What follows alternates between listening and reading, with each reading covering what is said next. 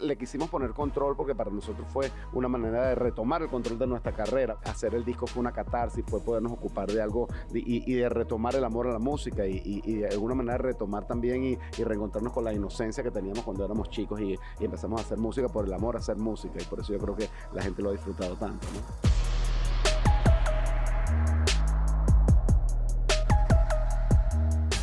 Doing today? My name is AK. Aquí nos encontramos en Sweet celebrating the Latin Grammys 2021 con caramelos de cianuro. Ah, ¿Cómo se encuentran? Felices, contentos, disfrutando acá de Las Vegas, divirtiéndonos mucho. Mira, vamos a empezar con un icebreaker question. ¿Ok?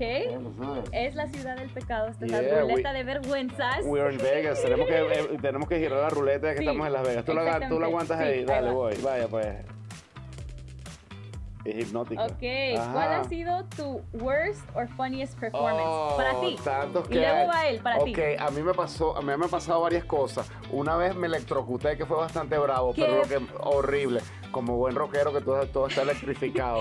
Pero una vez me caí de una tarima, ¿te acuerdas? Pero una tarima como que yo no sé cuánto, como siete pies, una cosa, una locura. Y lo peor de la cosa es que uno con la adrenalina cuando te caes y me, recuerdo que los seguridades me agarraron y me volvieron a montar y estás bien. Y yo no, estoy perfecto. Pero cuando se acabó el concierto, que uno se le baja como el rollo de adrenalina, me, dije, Ay, me empezó a doler la pierna, el brazo, todo. Y me di cuenta de que estaba, imagínate tú, molido completamente. Pero bueno, el show debe continuar, oh ¿no? Así que bueno, sacamos el concierto. regresaste, ahora vas tú. Aquí lo ponemos. igual, la misma pregunta, ¿o no? No, diferente, es tu turno.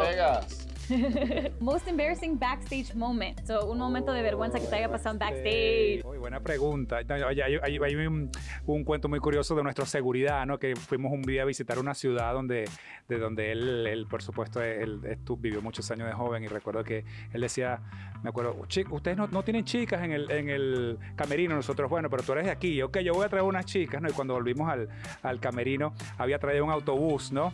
El autobús ese que lleva desde gente de una ciudad a la otra, 40 mujeres en el camerino, te podrás imaginar un poquito embarazoso para nosotros ahí. Nos sentíamos un poco incómodos entre tanta, tanta féminas. Pero bueno, había más grupos que músicos, correcto. Oh my God, hablemos de su último álbum, Control, 11 canciones. Yo quiero saber la inspiración de este álbum porque empieza con booty call y sexo.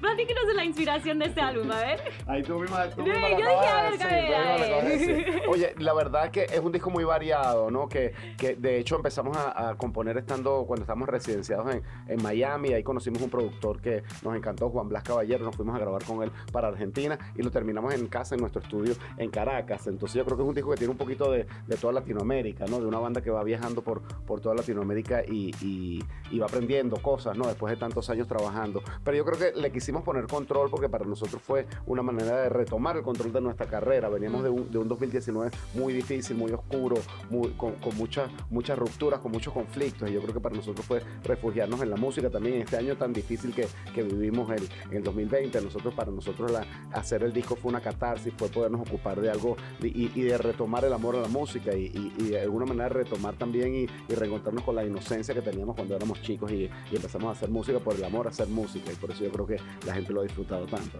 Se consideran como una de las bandas más importantes de Venezuela. ¿Qué ha sido lo más difícil que han tenido que ustedes aprender como artistas? Lo más difícil, bueno, yo creo que el batallar con el ego, yo creo que es algo que a todos los mm. artistas nos pasa, porque todos los artistas tenemos el ego un poco, un poco inflado, ¿no? Entonces hay momentos, hay momentos de triunfo, pero también hay momentos de fracaso, hay momentos difíciles. Es una carrera muy bonita, pero con muchos sacrificios también. Pero yo creo que lo importante es eso, ¿no? Eh, divertirse, divertirse, y yo creo que eso, la gente lo aprecia. Sé tú mismo, es algo que yo siempre le, le, digo a los, a los artistas nuevos, no trates de imitar a tal o cual artista, no trates de perseguir tal género, sino sencillamente si tú eres honesto y y hacer la música con cariño, la gente lo va a entender. Muy bien, gracias chicos por estar con nosotros en LATV. Congratulations on the nomination.